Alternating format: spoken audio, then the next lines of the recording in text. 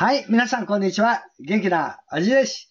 今日は6月29日土曜日、時刻の方は15時27分でーす。ててれてれーん、ぴぴょー。はい、そんなわけでね、今回はこちらを紹介いたします。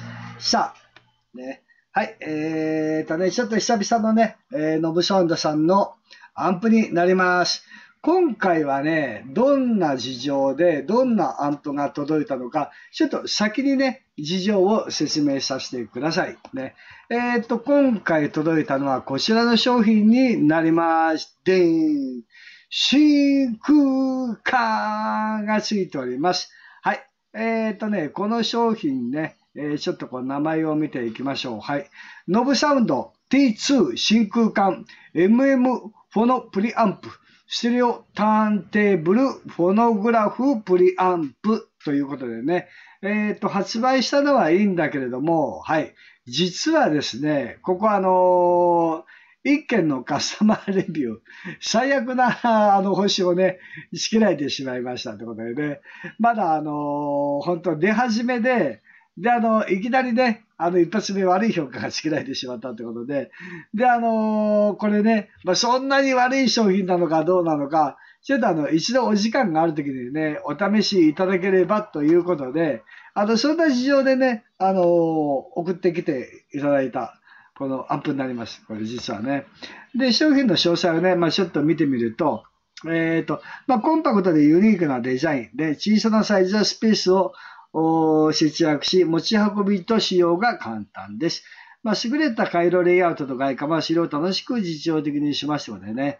で、あとここで、えーハイファイ音質、ね、えー低バックグラウンドノイズと真空管出力、ユニークな温かい甘さ、柔らかい自然的で素晴らしいリスニング体験を提供します。そして、えーハイファイ音質、低バックグラウンドノイズと真空管出力、ユニークな温かい甘さ、柔らかい自然的で素晴らしいリスニング体験を提供します。まあ、ハイエンド素材、金属ケースを使用して、振動やじ、えーと電磁気障害から保護します。RCA の金メッキインターフェースはロスレスオーディオ信号を転送するのに役立ちます。ということでね、えーまあ簡単にあのこんな内容があります。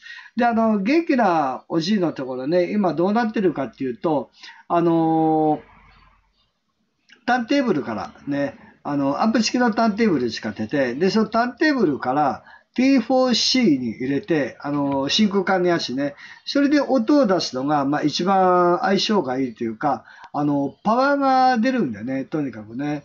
それで使ってたんだけれども、この間いろいろ検証でね、あの Bluetooth で飛ばした音とかはね、あのニュートーンとかね、あの、あとあの、リトルベアとか、この間検証したばっかなんだけど、まあ、フォロについてはね、うんちょっと、あの、考えていなかったっていうね。まあ、あの、なんだろう、こういう、あれがないからね、あの、セレクターが、昔はさ、あの、ほら、あの、もうおじいもみんな処分しちゃったんだよね。昔はあの、AV セレクターってやって、で、あの、で、パチパチパチパチ、カセットデッキとか、シューナーとか、なんかこういろいろあるじゃん、なんか。あの、ゲーム、ゲームのセレクターあるじゃん。で、ああいうのでみんなパチパチパチってこうセレクトしてたからさ、あの、電源いらないやつね。今は HDMI だから電源ないとあれだけど、昔はあの、黄色と白と赤だけだったらね、別にあの、ただの物理的切り替え機だからパチパチパチにしてね。で、今その A, A, A と B の、こうやってあの、入れ替えるやつね。それ、切り替え機は提供いただいたんだけど、あれあのあれなんだよね。ステレオジャックのやつなんでね、あれね、基本的に。なので、あれはまたちょっと違うよなと思って、あのこうこういう系のアンプをこう入れ替えるやつなんでね。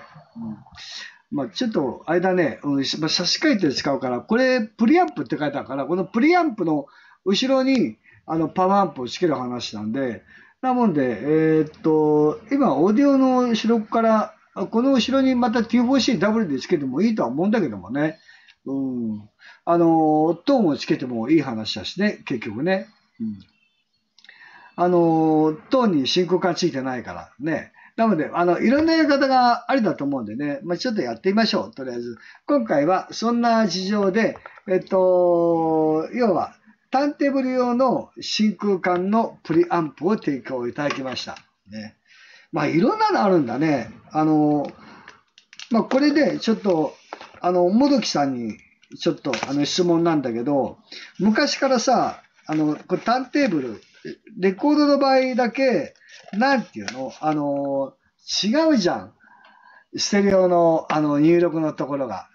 あの、大体さ、まあ、い、い、あの、あの、こう、普通の、ね、あの、白赤入力もあるけどさ、あ、なんかアースもつけてさ、ね、なんかつけてよね。で、そこのフォローの入力だけ、そこに他のものをつけてもダメだし、フォロを他のところにつけてもダメだし、あれ何が違うのかよくわかんないけど、なんか一個だけ特別な存在ってあったよね。うん。ねちょっと扇風機。ね、いや、ほんとね、この扇風機ね、すごくいいよ。今ちょうど蒸し暑くなってきたから。よいしょ。ねあれはな、なんで違うんだろうね。どうしてその、他のものも結局プリを通して音を整えてから、あのやるわけでしょ？だからプリアンプで入力するんだけど、その入力するものの音がちっちゃすぎるってことなのかな？レコードプレイヤーは結局。他のものに比べてね。うん、はい。それではね、えっ、と、箱を開封いたします。そして、白い箱を取り出、あ、これ、これアンプかな？アンプだったら真空管かな？で、あ、真空管。真空管ね。はい、真空管パート2。ね。そして、はい、こちらが、これが本体か。じゃあ、こっちが電源が入ってるんだね、これね。うん、はい、じゃあ、このね、えー、電源はどんな、あ、電源はこういう電源なんだね。これ何ボルトだろう？まあ、24ボルトはついてないよね。えー、っと、DC6 ボルトの2アンペアがついています。アウトプットね。はい。さまあ、こんなもんあれば OK ってことなんだね。だから、あの、真空管なんだけれども、あのあれなんだね。これあの 24V つけられないんだね、結局ね。6V だから。うんえー、いやややこしいなほんと、こういうのってね。さあ、じゃあね、ちょっと本体を開封していきましょう。よいしょ。よいしょあ、ビールにね、あの、プチ、厳重にプチプチに包まれて、そして、はい、ビニールに入ってます。で、これもね、あの、万が一、ほら、輸送トラブルでさ、あの、超えた場合ね、ちゃんとプチプチとかでやってないと、保証してくんないんだよ、宅急便って。ね。うん、よし。ちゃんとね、あの、保護してましたか？どう、どうですか？っていうね。はい、えー、こんなわけで、うん、これがスイッチなんだね。OK。え、っと、じゃあこっちが前、お待ってよ、入力、これアウトプットだからこっちか。えー、っと、こっちがフロントなんだね。あ、これが後ろからやっぱり、ほら。えー、っと、こっちがね、電源と入力になってます、これね。で、こっち側が出力と電源ボタンになってる。こっちがつける方だね、これね。それで、うん、えっと、グランド、これアース？ね。アーシつけるってことだね、これね。入力だから。アーシあったかな？あれ、あるよね、多分ね。うん。よし。それじゃあ、そんなわけで。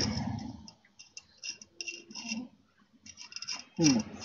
アースがババナナプラグになってるんだね。まあ、アースっていうか、ここ入れてね、チュチュチュチュチュっていうのになっております。さあ、じゃあ、真空管入れるぞ、真空管。ね。真空管。じゃあ、もうちょっと下向けて、よいしょ。こんなもんで見えるで、ちょっとズームして、ぐーんと、もうちょっとあれか。よいしょと。よいしょと。これぐらいでいいかな。ね。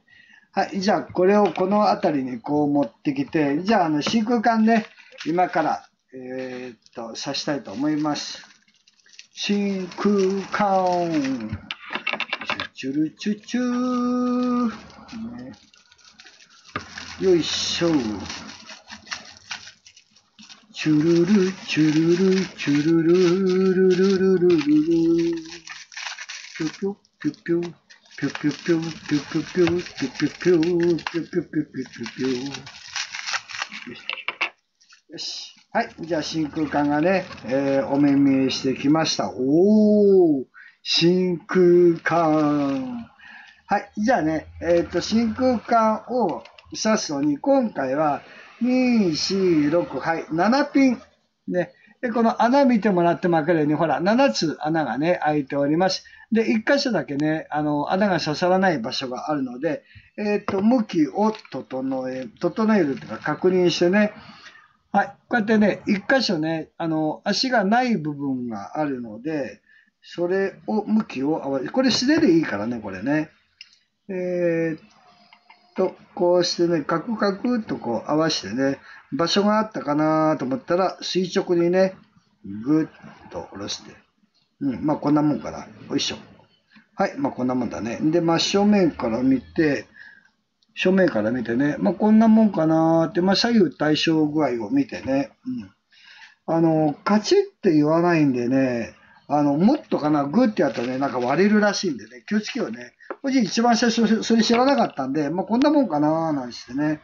で、あのー、やってたらね、もどきさんが後から言うんだよね。本当まあ、転がして落とすベテラン YouTuber の方もいるみたいだし。ね、気をつけようってことで。よいしょっと。まあ大体、あのー、まあ、こう、手応えがないので、カチッとも何とも言わないんで、まあ大体これぐらい押し込んだら、もうギュッて入った感じがしないんで、まあ大体こんなもんかなっていうのを見て、で、大体こう高さね、うん、まあ、あの、押し込んでも入んねえかなみたいな。で、こうやって高さ見たら、あ、ちゃんと底付きしてるかなっていうね。まあ、左右対称で底付きしてるんで、これが中途半端に入ってると、あの、手応えがなくても、グッグってさ、どっちかが浮いてるんで、あ、こっち浮いてんのかなって。で、グッグって見ると、で、大体ほら、こうして両方とも同じぐらいになってるんでね、あ、じゃあもうこれ入ってるんだろうなってことで、で、あの、あんま押さないでグッグってやって、ガタつきがなかったら、まあ、おじいはもうそれで OK にしてますのでね。はい。これよろしいんではないでしょうか。そして、えー、っと、まあ、これを電源を入れると、まあ、真空管がつくってことになるんだけど、まあ、30分ぐらいはね、あの、置かなきゃなんないので、はい、終わりました。簡単にね。よいしょ。はい、真空管つきました。よいしょっと。ね。まあ、真空管はね、あの、そんなにくっつけるの難しいっていうのはないからね。うん。ね。まあ、誰でも簡単に真空管はつけることはできます。はい。まあ、かっちょいいね、ほんとね。やっぱ真空管がついてるだけで、なんでこんなに、うん、心が落ち着くんだろう。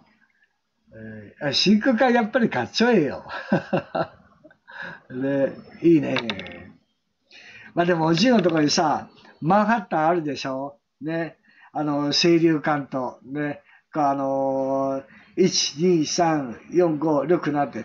あれがもう、あのー、存在感がね、置いてあるだけでね、もう、もう、うん、感無量って感じでね、もう、マンハッターンって感じでね、素晴らしいです。はい。それというわけでね、えっ、ー、と、ここの場所にはプレイヤーはないので、この後場所の移動になりますね。まあ、今回の開封式はここまでになります。これをね、プレイヤーの、プレイヤーと、えー、これがプリアンプなんで、えー、メイン、あと、パワーアンプの間にかましやつなのでね、これを試してみたいと思います。さあ、楽しみだね。いいじゃね。よいしょ。で、あとね、まあ、この商品ね、まあ、ちょっと簡単に紹介すると、あの、ノブサウンドさんからね、あの、この商品を買うと500円のキャッシュバック対象になります。で、このキャッシュバックの内容については、元気なおじいの動画、すべての動画に、説明欄に、ノブサウンドさんのキャッシュバックのね、あの、方法の動画のリンクが置いてあるので、キャッシュバック方法のやり方は、その動画を見てください。ね。で、元気なおじいのこのノブサウンドさんね。これ1個商品、こうやって紹介してるものは追加で200円、全商品、あの、300円キャッシュバックしてくれるんだけど、これはあくまでもオーディオ関連の商品のみってことだよね。あの、楽々工房さんの方、ヤフーショッピングの方だと、オーディオ以外のね、商品も扱ってるので、そちらの方が対象になりませんよっていうことでね。楽々工房さんの方と、あの、アマゾン。あと楽天はないのかなあのー、ね、どこのお店も、楽天もあったらいいんだけどね、3点セットでね。そうすれば、ね、あのー、いろんなところで紹介できるけどね。うん。まあ、500円引きということになります。ということで、お値段の方は、今現在、よいしょと、まあ、6480円なんだけど、500円のキャッシュバックがつくので、まあ、5キュッパってことだね。うんまあ、アマゾンの発送で購入することができます。まあ、残念ながらね、あの、カスタマーレビューね、あの、星一つ。で、これがね、どんな内容なのかね、まあ、ちょっと見てみる前に、まあ、商品自体はちょっとね、えー、もうちょっと詳しく紹介していきましょう。はい。えー、っと、この横にいろいろね、あの、ラララララララってこう書いてあるんで、ちょっとその上はね、口と読んでいくね。うんまあ、えっ、と、真空管主力弾を備えた、あこの T2 は、あ比類のないパフォーマンスと、あ、だここら辺こうちょっと文字を出たら面白そうだね。比類のないって書いてあるよ。ね。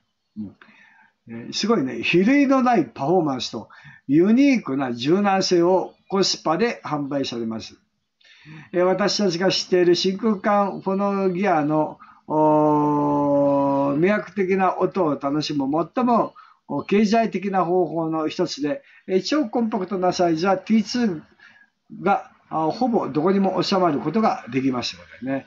T2 の音質は非常に印象的で、ほとんどのトランジスタフォのプリアンプよりも大幅に改善されています。多くのアンプやレシーバーに内蔵されているフォのステージよりも大幅な改良を施し、ほとんどのアナログハイファイシステムに最適なアップグレードを提供します。ということなんだね。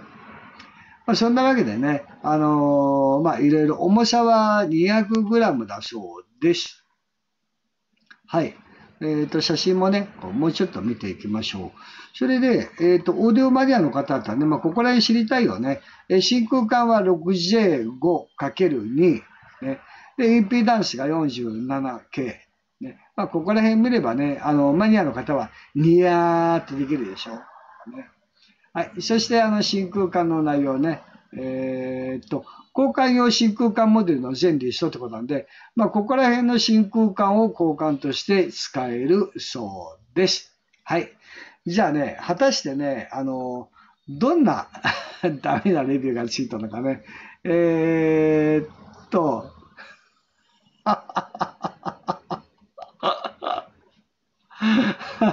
まあ、短い。あのね、カスタマーレビューね、良いところはありませんね。え真空管に期待しましたが、音質は品が、品がなく雑で、あ、品がなくか。で、今は、あ置物になっています。ね。そんだけなんだね。まあ、そんだけか。うん、まあ、音質に品がないっていうことだよね。音質に品がないか。えー、っと、この人は、ね、まあ、あの、アカウント、名前とかね、まあ、あの、非公開なんでね。この人はどんなものをレビューしてるんだろうね。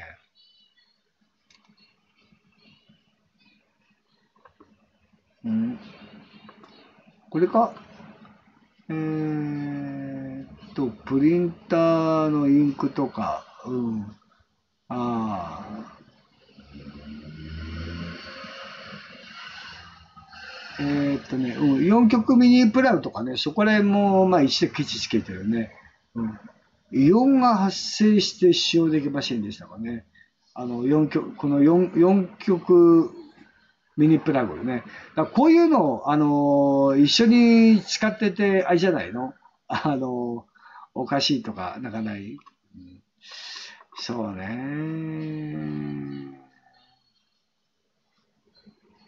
うんあ、パあの木製のパパイプなの？なんかパイプ買ってるね、この人ね。パイプのレビューしてるけどね。パイプを改造して使ったりとかなんかね。パイプばっかあれじゃん。ななんでこの人こんなパイプばっかあんの？ね。なんか変な人だね。あの、まあ、名前ね、あの非公開だからあれだけど、あの、オーリングの違うね、こうパイプ、で、パイプ。で、これ、パイプ、パイプ。で、これも水パイプ。ね。パイプばっかかよ。で、えー、パイプマニアだな、この人。まあ、わかんないけどね、あのー、なんだろうね。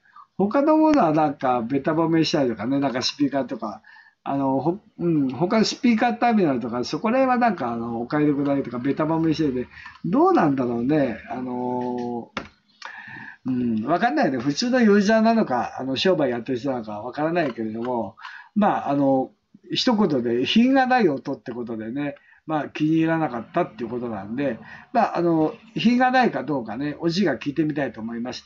で、レコードなんでね、さすがにあの、著作権フリーのレコードってないと思うので、よっぽどなんか、あの、非売品のやつとかね、なんかそういうのがないとはもう昔の何もないからな、なんか、うん、そうだ、まあよくね、あの、小学1年生とか幼稚園とかなんかね、赤いペラペラのフィルムでね、なんか、シュワッチとか、まあ、ウルトラマンは反響あるな、やっぱね。うん。だからいあのいろんなのあったよね。お化けの九太郎の歌とかね。なんか、よくおまけでついてたよね。うん、まあ、小学校の学校の校歌とかさ、ね、ああいうレコードも、あの、強制的にちっちゃい頃貸されたけどね。本当あああいうのもどうなんだろうね。うんまあ、あれでも一緒あるんだろうね、著作権とかね。なんでもあるよね、ああいうのはね。まあ、そんなわけでね、レコードを、うん、そのまま流すのは、まあ、ちょっと無理だと思うので、あれ、あれかな、あの収益化しなければいいのかな。で、その著作権を持ってる人が、あのダメだっつったら、あの、消されるし、あの、異議申し立てで。で、あのいや、お金くれればいいよって、お金っていうか、あの、広告ね、強制的に広告をつけられて、その収益を取ればいいよって。だから YouTube って、あの、広告収益詐欺っていうのがあってね。で、自分の著作権じゃなくても、あの、いろいろ、あの、音楽使ってる人がいたら見つけたら、著作権侵害だっつって、自分が著作者だっつって、申請すれば、あの、そうやって相手に広告をつけて、取ることができるんだよね。で、その人が本当に著作著作者かどうかは、あの、Google 調べないから、あの、その著作権詐欺っていうのがね、すごい流行って、あの、すごいよ。だこの間もね、ジャパン社でしたけど、あの、なんだかをアップしたら、なんか、十何箇所からね、あの、著作権侵害できたんですよね。いっぱい来たって笑ってたけどね。あの、そういうのが多いんだよ。ねなのでね、まあ、取り付けとかそこら辺の説明は動画撮るけども、あの、実際音を聞いて品があるかないかっていうのは、あの、おじいの耳にね、あの、お任せくださいね。あの、キョンキョン聞くからね。もう、あの、おじいは、あの、キョンコンだからね、あの、マイファンタジーでね、ぜひぜひ品があるかどうかを確認したいと思いますね。キョンキョンどこだったかな？あの、レコード会社ね。うん、なんかあの、CBS ソニーのやつがすごいね、あの、スーパー CD だっていうからね、松田聖子とか、そこら辺のやつはね、すごくいいっていうか、あのね、うん。レコードもだけど、薄いやつと厚いやつあったよね、本当に。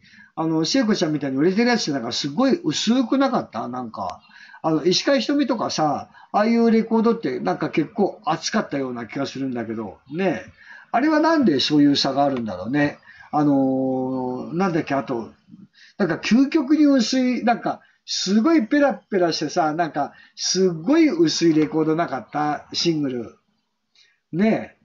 あの、本当の厚さっていうのはなんか、昔ながらのさ、ほら、あの、ピンカラトリオとかさ、あそこら辺のね、あのー、女の道とか、あそこら辺のレコードの厚みが本来の厚みだと思うんだけど、アイドル時代に突入したら、なんか、やたら薄いやつがなんか出てこなかった？なんか、ねあれも、たくさんの枚数重ねると、材料がだいぶ違うんだろうね、きっとね。あのー、もどきさんにそこら辺をね、ちょっとまた解説いただきたいね。レコードの時代、ね、厚みの薄いレコードと厚いレコードがあった。この違いは何であったのか。ね。そこをあの、教えてもらいたいね。あの、レコードの厚みによって、またあの、重みが変わるから安定も違うだろうし、まあ、まあ、溝の深さっていうのはまあ限られてるかもしれないけど、でも物理的に考えると、あのビニールのね、あの円盤の、あの厚みが、厚みに、まあ、テンションがね、あの、こう、針がかかって、こう、ポコポコってやって、こう、音を出すときに、やっぱりそこの、音を拾ったときに、その水がこうなったときに、あのビニールの、あの、厚みが多いと少ないでは、拾うときの音ってだいぶ違うじゃないかなと思うんだけどね。気のせいかな、本当おじいなんかそんな気がするんだけどね。うん。で、あのよくね、えっと、透明のレコードもあったしね、赤いレコードもあったし、あの、堀ちえみの少女なんかはね、あの、ホワイトレコードだったしね、あの、いろんなのがあったよね。で、あれも、まあ、水をこうやってやってるからさ、ね、あのまあ、別に色は関係ないと思うんだけど、あの、もどきさんもご存知の通り、あのレーザーでね、水を読み取るレコードプレイヤーが、今でも、あの注文生産しています。で、ああいうレーザーで読み込むときに、透明の LP とかさ、ね、どうなっちゃうんだろう。黒だったら黒と、あとホワイトレコードの反射率とかね、赤いやつとかあったでしょあとあの昔のあの雑誌の付録でさっき言ったようなね、赤い赤とか青とかあったじゃん。ね、薄いペラペラくなくなくななビニールの、ガンってこう折りたたんだらもう使えなくなっちゃうやつ。あれ、ああいうのはレーザーで読み取れないでしょやっぱり、さすがに。そういえばどうすんの？あの、そこになんか引いて、クレイの、クレイ、まあ、クレイゴム引くか。ね、昔のやつ。いいやつ大体そうだよ。タッテーブルのとこにゴム、重いゴム引いてあったよね、確かね。だから、それで反射する。でも、あ、おかしいよね。でも、A 面と B 面とあるから、B 面の溝が A 面から透明だったらやっぱ突き抜けちゃうから、あのーなんか、あれだよね。レーザーだと突き抜けちゃうから、やっぱ、良くないよね。うん。